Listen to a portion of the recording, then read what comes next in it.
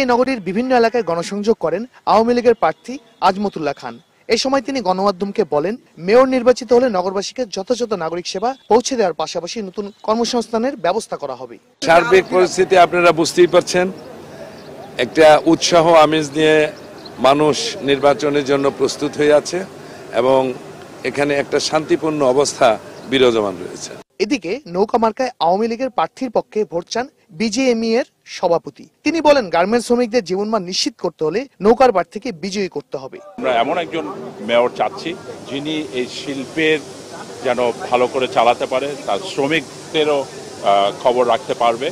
যেমন শ্রমিকরা যেন নিরাপত্তা বোধ করে শ্রমিকদের জন্য আসা যাওয়া রাস্তা ঠিক থাকে দুর্গন্ধমুক্ত থাকে।